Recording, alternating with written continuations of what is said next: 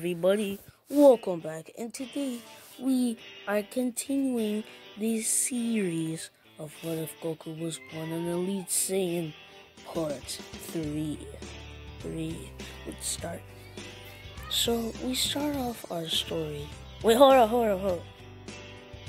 So, we started our story when we last left off with, um, with Goku and the Z Fighters training for Planet Namek.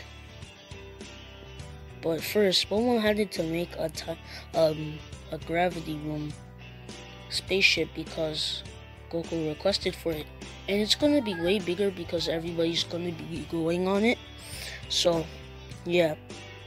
So once Bulma makes the spaceship, so once Bulma makes the spaceship, everybody goes on it, and then they and then they start training for when they go to Namek. It it takes a while for them to get to Namek, but they get some great gains from it. So once they arrive on Namek, and also Vegeta's there too. Once they arrive on Namek, Vegeta instantly um tries senses Kui, and when Kui comes into the into their direction, Vegeta absolutely demolishes him. Demolishes him and then he blows him up. The Z Fighter said that wasn't necessary, but Vegeta doesn't care. So, so yeah. Once the once they get noticed that um Kui is dead, they send in Dodoria, but it will may take him a while to get there. So we go back to the Z Fighters. So,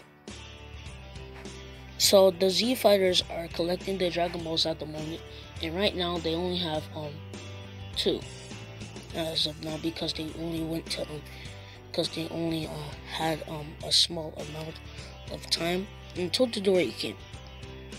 So once the came comes, so once the Dodoria comes, um, Goku um fights this one because Vegeta had his turn, and he beats up Dodoria.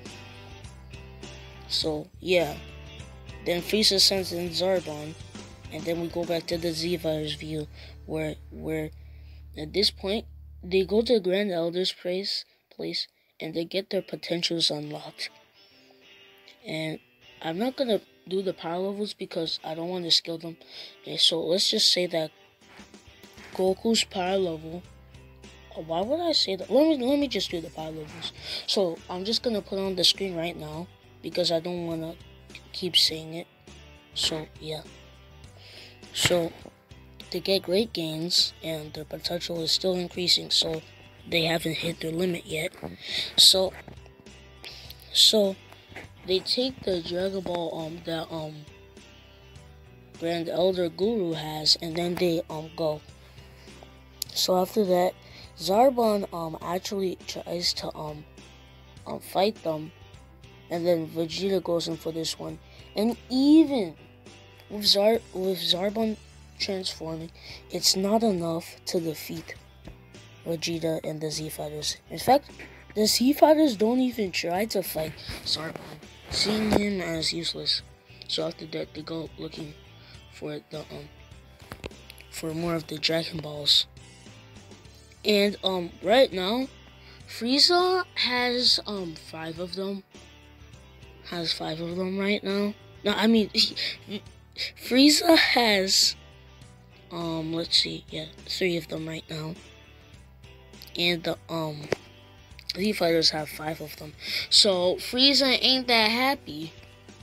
So, as a last ditch effort, he sends in the Ginyu Force. And let me just tell you, the Z fighters ain't ready for that. So, okay guys, that's it for this YouTube video. Hope you guys enjoyed. Make sure to like and subscribe. And I'm sorry that if this video is short for you guys. It's just that I don't have much to go over. And I hope you guys enjoyed this video. And I'll see you guys in the next one. Peace.